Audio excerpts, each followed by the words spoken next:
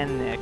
We are gathered here today to go on a journey, a journey to 12 meaningful spots throughout Chicago, at six of which you will be exchanging vows that symbolize the 12 years you've been together. I've known you both for as long as you've known each other. Meeting you here at Seton Hall at DePaul University, where we all lived during our first year at college, is a fitting starting point for today's ceremony. It is my privilege to officiate the ceremonial journey guiding you both through this unique wedding experience. Seton Hall, where our story began, where we met each other and lifelong friends, where we became independent young adults, where we learned and had so many first and new experiences. I love that we are, and in ways are not, still those kids that walked through these doors in 2010. Mostly, I just love that I met you here when we did. Nick, I promise to love you through every phase of life to come. Mickie, we fell in love on these steps. It was here, even as freshmen in college, that we understood we formed a connection that was extremely meaningful. I said back then, and have said ever since, that yes, we will always be changing and growing, but that's the exciting part.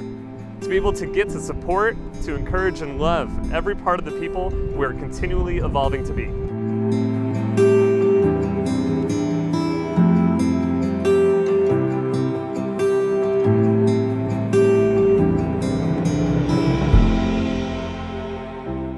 Lincoln Park Zoo, where we walked together on one of our first nights hanging out, where we couldn't stop talking and laughing and getting to know one another.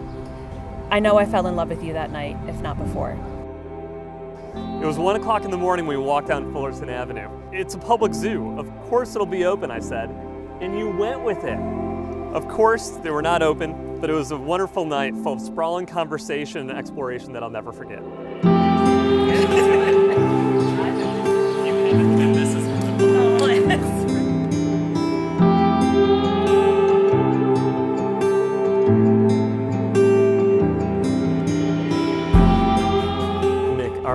has been a movie. How is it that after 12 years together, every night still feels like a date night? We've made a lot of wildly fun memories together in this theater.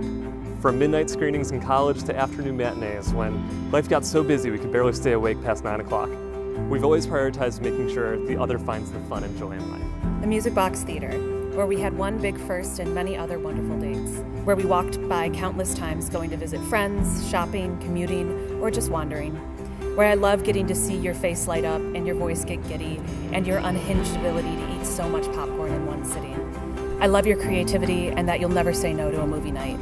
Nick, thank you for bringing a lightness to my life. I promise to have fun with you everywhere we go.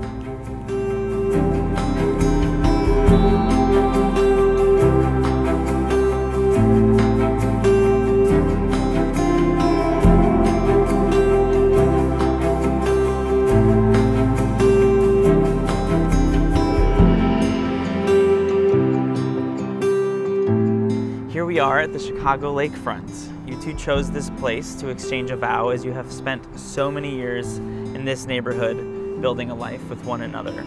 This place symbolizes where you all have been and what you are continuously building together. This is where you made us go on a freezing day in November 2019 to take engagement photos that really didn't turn out that well. Where we'd walk alone, or with each other, or with Teeny for hours, where we got and get to bask in the beauty of the city and all it has to offer us and others. When I'm at the lake, I feel peace like when you walk into any room. You make me laugh and breathe and find comfort and calm more than anyone or any place. You're my lakefront, my walk through nature, my toes in the sand, though we both really don't like the beach and are afraid of the ocean. You're my peace. Mick, when we have something on our mind, we tend to go all in. That was true in the early days, getting to know each other, and true when we built our first home together in this neighborhood. That was a time when we were entering a new stage in our relationship and in our independent lives kicking off our careers. I love how in every domain we always encourage, support, and champion the moves we make in both the independent sides of life and in those areas we pursue together. As we look to dive into anything together, or in our independent sides of life, I promise to always add fuel to your fire so that anything you have on your mind, you have what you need to be all in.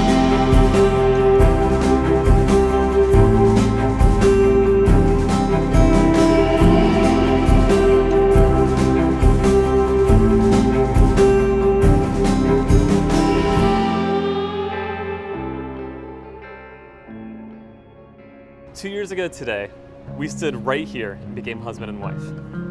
Pulling into this drive, we had just wrapped up a busy day at work, the pandemic was in full swing, and the visual couldn't be any further from what you initially pictured the kickoff of our marriage would look like. I promise to always be a force of stability in your life and to also prioritize adaptability so that we can continue to make the most of all of life's challenges and opportunities. Whatever comes our way, the hard times and the great times, I'm ready and couldn't be more excited being your partner navigating it all. I look back on that day two years ago exactly, and I get a mix of what the hell were we thinking and honest love. It was such an odd choice, but I love you everywhere and I will marry you anywhere, especially twice.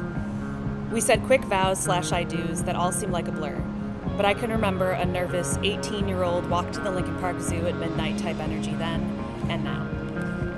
Nick, I promise to make mundane moments special and to never hesitate for any reason to celebrate you, our friends and family, and our love.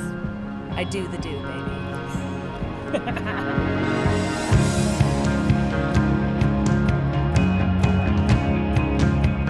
As this ceremony comes to a close, we end here at your home. We've seen a lot of places special to the two of you today, and now we look forward to your journey ahead, recognizing that no matter the places your journey takes you, you always have a home in one another.